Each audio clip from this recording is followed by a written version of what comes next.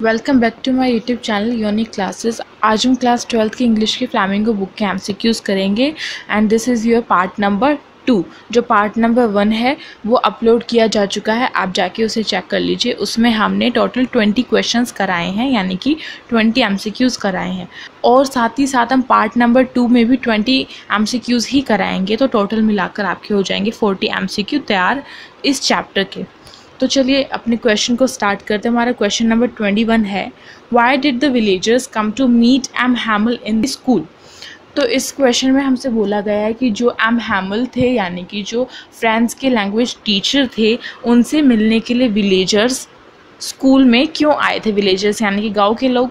तो यहाँ पे ऑप्शन है हमारे पास टू कंप्लेन यानी कि शिकायत करने के लिए। टू से गुड बाय यानी कि उनको अलविदा कहने के लिए टू गॉसिप बातें करने के लिए, और लास्ट है टू शो ग्रेटिट्यूड अब ग्रेटिट्यूड का मतलब होता है थैंकफुल कहने के लिए।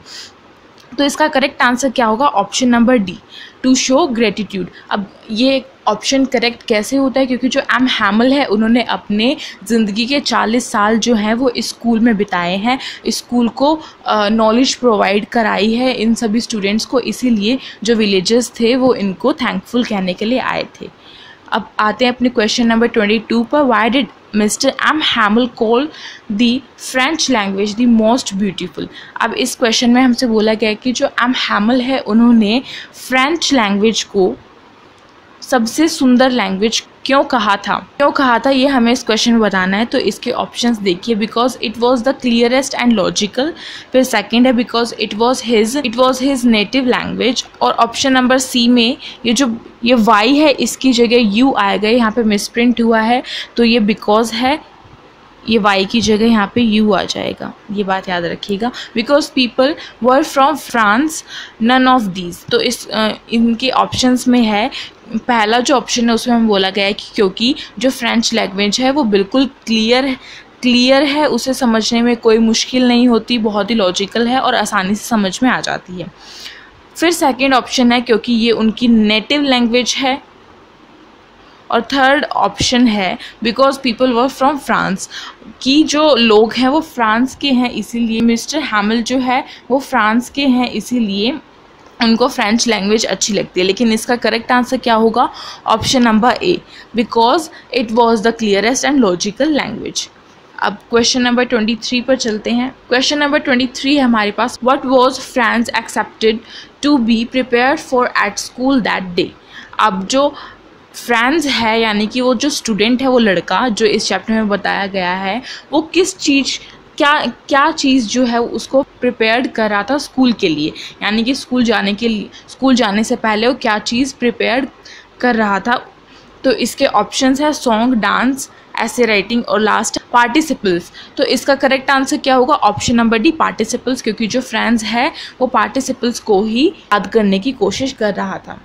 अब हम ना question number twenty four start करते हैं. When people are enslaved what key do they have to the prison according to M Hamel अब इस क्वेश्चन में हमसे बोला गया है कि जो लोग, जब लोगों की जो स्वतंत्रता, यानी कि उनकी जो फ्रीडम है, उनसे छीन ली जाती है तो उस टाइम पे वो उस जेल की चाबी कैसे खोल सकते हैं? उनके लिए, उनके पास ऐसी क्या चीज़ है जिससे वो अपनी फ्रीडम को दोबारा से पा सकते हैं? इस क्वेश्चन में ये पूछा गया है. अकॉर्डिंग टू एम हैमल की पूछा गया है, यानी कि जो उनके विचार हैं एम हैमल के, उनसे रिलेट करके हमें आंसर देना है, जो जो ऑप्शंस में है।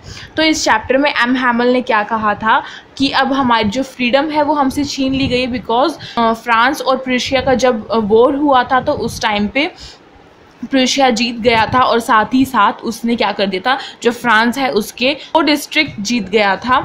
और उसमें उन्होंने क्या कर दिया था? फ्रेंच लैंग्वेज को हटाकर जर्मन लैंग्वेज ही पढ़ाने के ऑर्डर आगे से दे दिए थे। तो इसीलिए यहाँ पे जब जो फ्रांस है, उसमें उसकी मदर टंग ही नहीं पढ़ाई जाएगी तो उनको जो आगे के स्टूडेंट्स हैं, उनको उनकी मातृभाषा, इनकी मदर टंग नहीं आएगी। इसीलिए एम हैमल ने कहा था कि अगर हमें अपनी फ्रीडम को दोबारा से पाना है तो उसके लिए हमें मदर टंग आना बहुत ज़रूरी यानी कि हमें भाषा, अपनी मातृभाषा आनी बहुत ज़रूरी है। और ऐसा ही जो फ्रेंड्स है, वो सोचता है कि अब मैंने जो फ्रेंच लैंग्वेज है, उसे कभी सीरियसली नहीं लिया, ना ही सीरियसली होकर उसे पढ़ा है, हमेशा उसको कल पर टाला, यानी कि जो काम उसको आज के दिया जाता था, वो उसे कल पर टाल देता था, इसीलिए उसे कभी भी जो फ्रेंच लैंग्वेज है, वो आई ही नहीं है। तो अब वो किसी के सामने बोल भी नहीं सकता कि वो एक फ्रेंच मैन है बिकॉज़ उसे वो लैंग्वेज आती ही नहीं है। तो इसका करेक्ट आंसर क्या होगा, इन ऑप्शंस में से देखते हैं। चार ऑप्शन है हमारे पास, option number A their behaviour option number B power option number C aggressiveness और ऑप्शन नंबर डी हमारे पास मदर टंग तो इसका करेक्ट आंसर क्या होगा? मदर टंग अब चलते हैं क्वेश्चन नंबर ट्वेंटी फाइव पर. What did Franz notice that was usual that day अब इस क्वेश्चन में हमसे बोला गया है कि जो फ्रांस है वो क्या नोटिस करता है उस दिन, जिस दिन वो स्कूल में जाता है. तो यहाँ पे ऑप्शन हमारे पास strange quietness soldiers in the school crowd all of these तो इसका करेक्ट आंसर क्या होगा? ऑप्शन नंबर ए बिकॉज़ उस दिन, जिस दिन वो स्कूल में गया था, उस दिन पूरे स्कूल में बहुत ही शांति थी, बहुत क्वाइटनेस थी, वो भी एक अजीब तरीके की, एक स्ट्रेंज क्वाइटनेस थी। इसलिए इसका correct answer option number A strange quietness अब क्वेश्चन नंबर ट्वेंटी सिक्स पर चलते हैं। What had been put up on the bulletin board that day अब इस क्वेश्चन में बोला गया है कि जब फ्रेंड्स जो वो स्कूल गया था तो उसने बुलेटिन बोर्ड पर, उस दिन बुलेटिन बोर्ड पर क्या नोटिस जो है वो लिखा हुआ था, जो फ्रेंड्स ने नहीं पढ़ा था। इस चैप्टर में बुलेटिन बोर्ड की बात आई है। फ्रेंड्स ने बुलेटिन बोर्ड को देखा था, स्कूल जाते हुए, लेकिन वो इतनी जल्दी में था, इसलिए वो बुलेटिन बोर्ड को नहीं पढ़ पाया। तो इसमें ऑप्शन हैं teach only French speak only English teach only German teach all these तो इसका करेक्ट आंसर क्या होगा? Option number C teach only German अब तक आपको ये बात समझ में आ चुकी होगी कि इस चैप्टर में क्या इस चैप्टर में जो जर्मन लैंग्वेज है, उसी को पढ़ाने के ऊपर बात चल रही है अभी तक। तो इसका करेक्ट आंसर क्या है? जर्मन क्योंकि आगे से ऑर्डर यही आए थे कि जर्मन पढ़ानी है अब से। तो बोर्ड पे भी यही नोटिस जो है वो लिखा हुआ था। अब चलते हैं क्वेश्चन नंबर ट्वेंटी सेवन पर. What changes did the order from Berlin cause in school that day अब इस क्वेश्चन में हमसे बोला गया कि जब बर्लिन से जो ऑर्डर्स आए थे तो उससे क्या चेंज हुआ था? ऑर्डर्स आए थे तो उससे क्या चेंज हुआ था? उस दिन स्कूल में, इसमें ऑप्शन है हमारे पास हस्टिल बस्टिल फिर बी है पीपल वर हैप्पी सी है teachers were sad and D है स्ट्रेंज क्वाइटनेस एंड सैडनेस तो इसका करेक्ट आंसर क्या होगा? ऑप्शन नंबर डी उस दिन क्या था? स्कूल में बहुत ही स्ट्रेंज तरह की क्वाइटनेस थी और साथ ही साथ सब बहुत उदास थे। अब है question number twenty eight what change Franz's feeling about M Hamel and school तो इस क्वेश्चन में हमसे बोला गया कि जो फ्रेंड्स है, क्या चीज़ थी जिसके कारण उसकी फीलिंग्स जो थी, वो चेंज हो गई थी किसके प्रति? एम हैमल और स्कूल के प्रति. तो इसका करेक्ट आंसर क्या होगा? जो आगे से ऑर्डर आया था जर्मन लैंग्वेज पढ़ाने का, उसकी वजह से जो फ्रेंड्स है, उसके मन में उसकी जो फीलिंग्स थी, वो चेंज हो गई थी एम हैमल एंड स्कूल के प्रति. तो इसका करेक्ट आंसर क्या होगा? Orders from Berlin option number B अब है question number twenty nine what made Franz and people realise about the preciousness of their mother tongue अब इस क्वेश्चन में हमसे बोला गया है, सबसे पहले मैं आपको बता दूँ कि जो प्रेशियसनेस है, इसका मतलब क्या होता है? बहुमूल्यता यानी कि जिसकी बहुत ज़्यादा कीमत हो। तो इस क्वेश्चन में हमसे बोला गया कि जो फ्रेंड्स एंड बाकी जो पीपल थे, उन्होंने कैसे रियलाइज़ किया? यानी कि उनको किस चीज़ की वजह से पता चला कि जो उनकी मदर टंग है, यानी कि मातृभाषा, वो इतनी बहुमूल्य है। ऑप्शन है हमारे पास एम हैमल्स वर्ड फिर बी है स्कूल ऑर्डर्स सी है sudden orders from Berlin and D है स्कूल प्रिंसिपल तो इसका करेक्ट आंसर क्या होगा? Option number C sudden orders from Berlin अब चलते हैं क्वेश्चन नंबर थर्टी पर। Expression thunder clap in the lesson means अब इस क्वेश्चन में हमसे बोला गया है कि जो थंडर क्लैप है बेसिकली इसका हम, हमें मतलब जो है बताना है। अपने ऑप्शंस देख लेते हैं। ऑप्शन नंबर ए है loud but not clear option number B है loud and clear option number C है startling and unexpected and option number D है अनप्लीजेंट तो इसका करेक्ट आंसर क्या होगा? Starting and unexpected starting यानी कि शुरुआत करना, लेकिन एक्सेप्टेड अनएक्सेप्टेड मतलब कि जो हमने एक्सेप्ट ना किया गया हो। तो इसका करेक्ट आंसर है ऑप्शन नंबर सी अब है question number thirty one what did Mister Hamel bring for his class on his last day in the school अब इस क्वेश्चन में हमसे बोला गया कि जो मिस्टर हैमल है, वो क्या लेकर आए थे? क्लास में बांटने के लिए उन्होंने क्या दिया था क्लास को? अपने लास्ट दिन, यानी कि जब उनका स्कूल में लास्ट दिन था, उस दिन उन्होंने क्लास को क्या दिया था? तो ऑप्शन है हमारे पास न्यू पैंस न्यू नोटबुक्स फिर सी है स्वीट्स एंड डी है स्टोरी बुक्स तो इसका करेक्ट आंसर क्या होगा? Option number B new notebooks उन्होंने नोटबुक्स दी थी।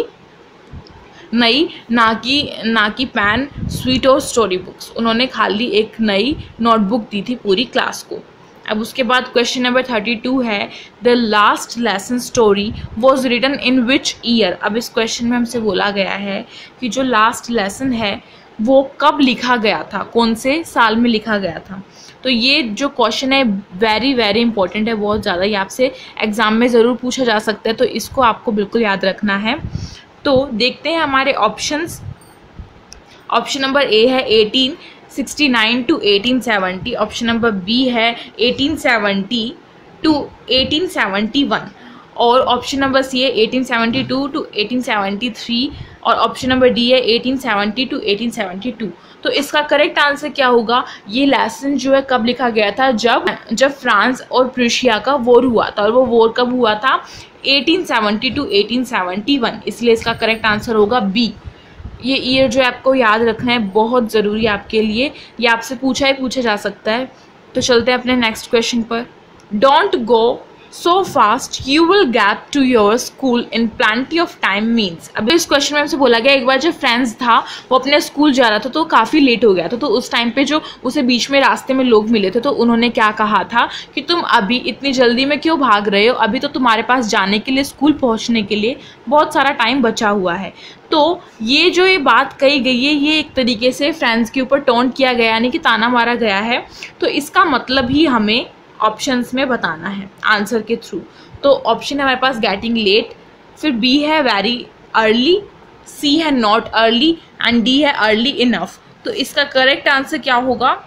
Option number D early enough अब उसके बाद है question number thirty four what was there in front of the bulletin board अब इस क्वेश्चन में हमसे बोला गया है कि जो बुलेटिन बोर्ड है उसके सामने क्या हो रहा था? यानी कि बुलेटिन बोर्ड जब, जहाँ पे स्कूल में लगा हुआ उसके डायरेक्टली सामने क्या हो रहा था? तो यहाँ पे है ऑप्शंस में चिल्ड्रन ए फिर ऑप्शन बी में पुलिस एंड सी में हॉकर और डी में है आ क्राउड तो इसका करेक्ट आंसर क्या होगा? आ क्राउड जो बुलेटिन बोर्ड है, उसके सामने काफ़ी शोर मच रहा था। सब उसको देखने के लिए खड़े थे, क्योंकि वहाँ पे एक बहुत बड़ी न्यूज़ आई थी। अब है question number thirty five what bad news use to come from the bulletin board अब इस क्वेश्चन में हमसे बोला गया है कि जो बुलेटिन बोर्ड पर न्यूज़ लगी हुई थी, वो बैड न्यूज़ कौन सी थी? बेसिकली हमसे पूछा गया है कि जो बच्चों को बैड न्यूज़ मिली थी, वो कौन सी थी? थ्रू बुलेटिन बोर्ड के। तो इसमें हमारे पास लॉस्ट बैटल्स ए में बी में है द ड्राफ्ट सी में है orders of commanding officers and D में है ऑल थ्री तो इसका करेक्ट आंसर क्या होगा? ऑर्डर्स ऑफ़ कमांडिंग ऑफिसर्स अब क्वेश्चन नंबर थर्टी सिक्स है what did Franz find on reaching the school अब इस क्वेश्चन में हमसे बोला गया है, जो फ्रांस जो फ्रांस है, जब वो स्कूल गया था तो उसने स्कूल में क्या पाया था यानी कि उस, अब आपको पता ही होगा मैंने आपको आधी स्टोरी तो बताई दी, आपको इससे गैस लग गया होगा कि जो फ्रेंड्स है, जब वो स्कूल गया था तो उसने काफ़ी क्वाइटनेस देखी थी, बिल्कुल भी शोर नहीं हो रहा था, और दिन के मुकाबले आज का दिन बहुत ही यूनिक था।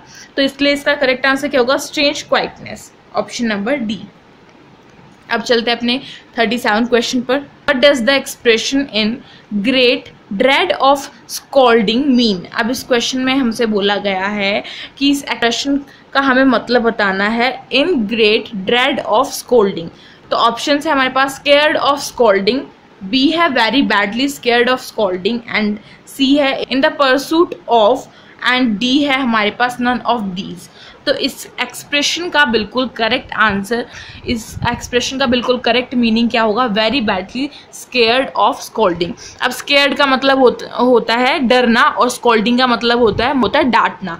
तो इस एक्सप्रेशन का मतलब यही निकल के आता है कि वो काफ़ी बुरी तरीके से डर रहा था किस चीज़ से? डांट खाने की वजह से। तो इसका correct answer option number B option number A है because of his casual dress option number B है because he give sweets option number C है because he had a flower in his hand and D है all तो इसका correct answer क्या होगा? Option number A because of his casual dress जो M Hamel थे, उन्होंने उस दिन ऐसी ड्रेस पहनी हुई थी कि जिस, कि जिसको देखकर जो फ्रेंड्स है वो काफ़ी शौक हो गया था क्योंकि उन्होंने क्या पहना हुआ था? ऐसे ही ड्रेस पहनी हुई थी जिसमें जो ड्रेस हम किसी पार्टी या फिर जब कोई इंस्पेक्शन के लिए आता है या फिर जब प्राइस डिस्ट्रीब्यूशन होता है जिस दिन, उस दिन पहनी जाती है ड्रेस उन्होंने वो आज पहनी हुई थी। तो इसलिए जो फ्रेंड्स है वो एम हमल को देखकर काफ़ी शौक हो गया था। अब क्वेश्चन नंबर थर्टी नाइन है what attitude of M Hamel surprise friends इस क्वेश्चन में हमसे बोला गया है कि जब फ्रेंड्स जो है स्कूल में गया था तो किस एटीट्यूड ने एम हैमल के उसे सरप्राइज़ कर दिया था? यानी कि वो चौक गया था एम हैमल को देखकर। तो यहाँ पे ऑप्शन है हमारे पास सॉफ्ट एंड काइंड सेकेंड है रूड थर्ड है फ़िल्म एंड स्ट्रिक्ट और डी है ओल्ड तो इसका करेक्ट आंसर क्या होगा? Option number A soft and kind जो फ्रेंड्स है, वो एम हैमल को सॉफ्ट एंड काइंड देखकर बहुत ज़्यादा हैरान हो गया था, क्योंकि आज से पहले वो ऐसा कभी भी नहीं करते थे। तो यहाँ पे थर्टी नाइन होता है कंप्लीट अब चलते हैं अपने लास्ट क्वेश्चन पे, इस वीडियो के फोर्टी क्वेश्चन पे।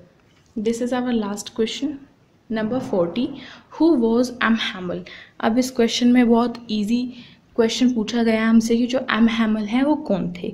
और मैंने आपको पूरी, पूरे चैप्टर के जितने भी एम सी अभी तक कराए उन सभी मैंने आपको बताया कि जो एम हैमल हैं, वो फ्रेंड्स के कौन थे, अगर आपको पता है। तो इसका आंसर तो प्लीज़ आप कमेंट बॉक्स में ज़रूर बताइए, क्योंकि ये तो आई एम रियली श्योर कि आपको पता ही होगा। बाय द वे अब अपना आंसर जो है चेक कर लेते हैं। इसका करेक्ट आंसर क्या होगा? Option number B language teacher जो एम हैमल थे, वो क्या थे? फ्रेंच के लैंग्वेज टीचर थे और लैंग्वेज टीचर में भी कौन से? फ्रेंच लैंग्वेज टीचर थे वो। तो ये दो ये दो बातें आपको याद रखनी है। एक तो वो फ्रेंच के लैंग्वेज टीचर थे और अगर लैंग्वेज टीचर में भी कौन से लैंग्वेज टीचर थे वो पूछ लिया जाए तो आपको बताना है कि वो फ्रेंच लैंग्वेज टीचर थे। तो यहाँ पे आपके इस चैप्टर के एमसीक्यू जो हैं, वो हो जाते हैं पूरे डन यानी कि कंप्लीट तो अब आपको एक छोटा सा काम करना है, जल्दी से जाके वीडियो कर दीजिए लाइक और साथ ही साथ मुझे कमेंट बॉक्स में बताइएगा कि मैंने कैसा पढ़ा है और साथ ही साथ ये बताइएगा कि अगर, कि मुझे अपनी वीडियो में और क्या सुधार करना चाहिए। और अगर आपको वीडियो अच्छी लगी हो तो प्लीज़ कमेंट बॉक्स में ज़रूर बताइएगा। कोई भी क्वेरी हो तो ज़रूर बताइएगा। आपको पूरी पूरी हेल्प की जाएगी। और अगर अभी तक आपने मेरे चैनल को सब्सक्राइब नहीं किया है तो जल्दी से जाके सब्सक्राइब कर दीजिए और साथ ही साथ जो बेल आइकन है, उसे प्रेस कर दीजिए, जिससे कि आपके पास न्यू वीडियोस की नोटिफिकेशन आती रहेगी। Thank you